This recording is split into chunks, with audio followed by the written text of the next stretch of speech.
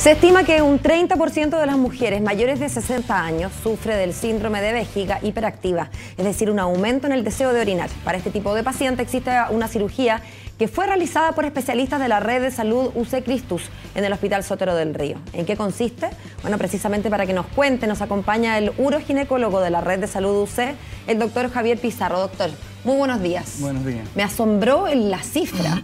60 años son mujeres muy jóvenes y el 30%, o sea, casi una de cada tres mujeres de esa edad puede sufrir problemas de incontinencia. Efectivamente.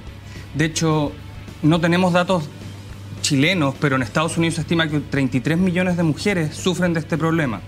Eso quiere decir un 10% de la población de ese país, del país del norte. Sin embargo, cuando uno evalúa el grupo de pacientes que son mayores, este este porcentaje es mucho mayor, llegando a las cifras que tú, que tú refieres, un 30%. Lo primero que uno piensa en medicina es prevención. ¿Hay alguna manera de prevenir o minimizar el riesgo de estar en este 30% cuando lleguemos a los 60 años?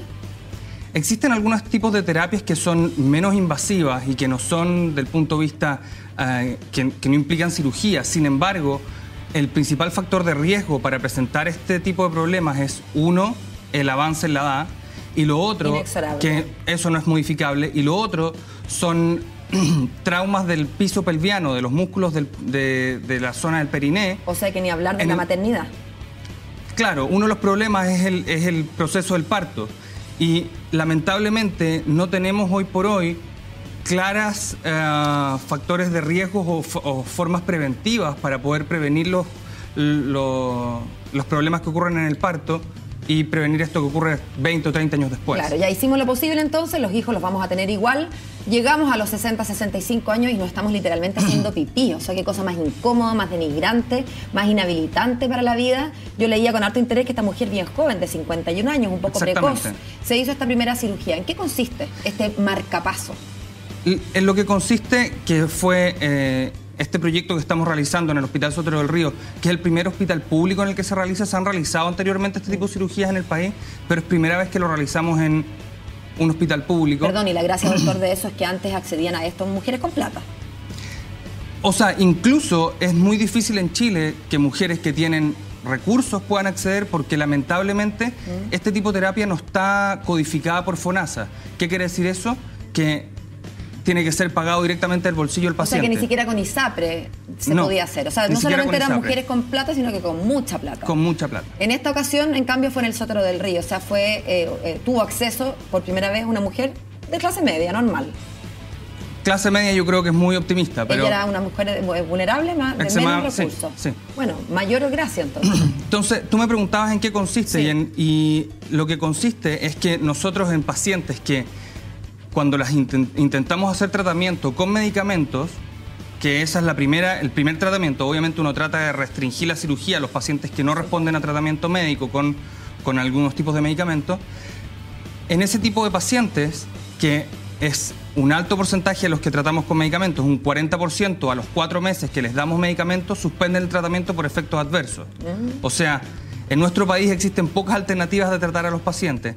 En ese tipo de pacientes, lo que nosotros realizamos es no sé si se alcanza a ver en la cámara, pero en... Déjeme explicar primero la cámara. Lo que tenemos aquí es un modelo, ¿no es verdad? Es el sacro. Esta es la última sección, porción de la, de la columna vertebral. Exactamente. Aquí tenemos directamente los glúteos, está pilucho el modelo, ya. Ahí lo tenemos abierto. Entonces, en este modelo lo que se muestra acá es, esta, es la, esta correspondería a la columna. Aquí. Y, exactamente, y este es el hueso sacro.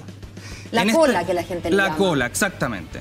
Entonces lo que ocurre es que en este tipo, en este modelo, lo que se muestra son la salida de los nervios. Esto que se ve aquí en color amarillo son los nervios que salen de la columna y que van a inervar la vejiga y el recto, porque esto también tiene una excelente respuesta en pacientes que tienen incontinencia fecal. Entonces, ¿qué es lo que nosotros realizamos? Es que por la parte posterior, digamos acá... O sea, por aquí, por la piel directamente. Por la piel, por la piel, nosotros colocamos un electrodo. Yo lo agarro, a ver. Que. Esto es, un cable. Es, exactamente, eso es, un cable. Pero esto es lo que ponen o esto es lo que permite llegar. Eh, esto, no, esto es lo que se pone en forma definitiva. Y queda dentro de mi cuerpo ese cable. Claro, entonces este cable queda en contacto directo con los nervios. Sí. Y permite una estimulación de las zonas de los nervios a través de varios electrodos, que es lo que nosotros llamamos. Esos electrodos que están en la punta de este cable, que queda puesto en el cuerpo. Exactamente. Entonces, estos electrodos quedan en contacto directo con los nervios y ese contacto directo permite estimular estos nervios y lo que nosotros realizamos, y ese es el nombre de esta terapia, es modular la respuesta nerviosa. Déjeme entender un poco porque usted comprenderá que me está hablando en complicado. Exactamente. Uno cuando tiene pipí, junta pipí. Cuando ya no puede la vejiga, uno voluntariamente hace el acto de la micción. Exactamente. ¿Cómo va a ser una persona que perdió esa capacidad de controlarlo con el electrodo? Es como que yo le hablo al electrodo. ¿Cómo sabe el electrodo cuando sí y cuando no? Esa, es, es una muy buena pregunta porque muchas veces la gente piensa que este tratamiento es como que da una alerta de que la persona tiene que ir al baño. Claro, o que yo me voy a tocar la espalda apretando el electrodo y voy a... No, no es así como funciona. Esto produce una estimulación continua que lo que hace es calmar los nervios de la vejiga y hacer que la vejiga permita eh, contener más orina. Que se expanda. Y que se expanda en forma más adecuada y que, la, y que los pacientes puedan posponer esta, urgencia. para ir, al, a ir al baño a hacer pipí. Comprendo. Y esto después queda conectado a un marcapasos, que es esto que le estoy mostrando acá, que en el fondo eso... Este, Pero esto, a ver, esto está dentro de mi cuerpo y esto también queda escondido. Esto queda debajo de la piel, ya. debajo de la piel en la zona de los glúteos. Pero que no queda, Ni se ve, me imagino. No, se ve, no se ve si incluso una, persona puede usar bikini y esto no se va a ver. Y esto queda debajo de la piel, en la zona alta de los glúteos, no queda donde uno se sienta, por tanto no les molesta a los molesta pacientes. sentarse, claro. Y esta batería dura entre 4 o 6 años. Y después, para cambiar la batería, hay que una Uno que cambiarla. Lo que es bastante impresionante porque la batería de tu celular dura menos de un día. Y esta batería dura cinco años.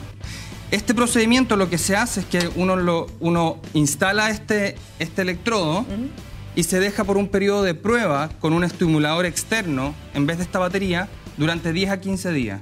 Y, después que, funciona, uno instala la batería. Doctor, se nos acaba el tiempo, pero la pregunta, me imagino, hay gente que está escuchando esto y que no tiene los recursos para acceder a esta modalidad de pagarlo así del bolsillo. ¿Cómo lo hace la gente? ¿Se dirige a ustedes? ¿Ahora ya está codificado? Estamos tratando de trabajar de, tal manera con el hospital, con la dirección del hospital, de poder, de poder, claro, de poder llegar a FONASA y tratar de eh, sensibilizar a FONASA de que esto sea cubierto, porque tenemos un gran porcentaje de pacientes y probablemente cientos de pacientes y cientos de miles de pacientes en nuestro país que necesitan este tratamiento y no tienen cobertura. Por tanto, ojalá FONASA pudiera tener la sensibilidad de poder incluir esto dentro de sus prestaciones. Tantas necesidades y siempre los recursos faltan. Exactamente. Muchas gracias, doctor Pizarro, por acompañarnos y explicarnos esto. Ok, esté muy bien. Gracias.